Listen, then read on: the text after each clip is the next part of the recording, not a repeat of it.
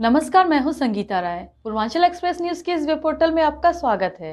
आइए देखते हैं हमारे संवाददाता, राम सकल यादव की यह विशेष रिपोर्ट।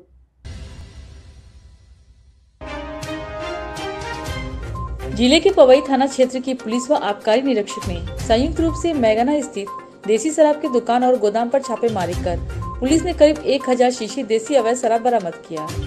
इस मामले में पुलिस ने पाँच लोगों के खिलाफ मुकदमा दर्ज कर दो आरोपियों को गिरफ़्तार कर लिया साथ ही दुकान के लाइसेंस को निरस्त करने की कार्रवाई चल रही है।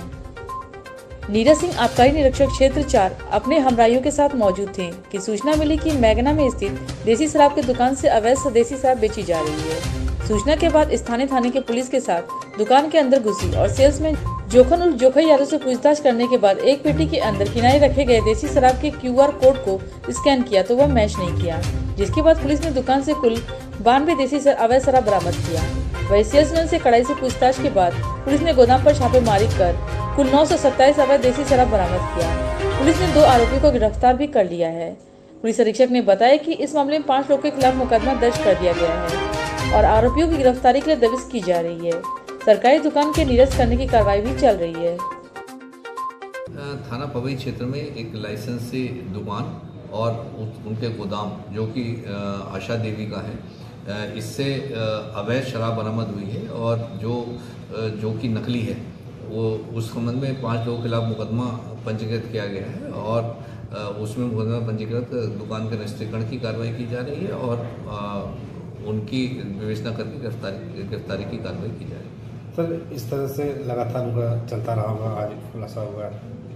देखिए ये जैसा कि पता चला कि ये ये लोग ये काम कर रहे थे बीच में भी पहले इससे मौतें हुई थी और इस संबंध में कड़ी कार्रवाई लोगों के विरुद्ध की गई थी। इस प्रकरण में भी गैंगस्टर लगाकर उनके संपत्ति जब्त करने की कार्रवाई की जाएगी। सर कितनी गिरफ्तारी हुई? है देखिए अभी उसके सेल्समैन की गिरफ्तारी हुई है जो सेल्समैन था उसी ने ये बताया कि ये किसके नाम की दुकान है और उनके कहने पर ये बेच रहा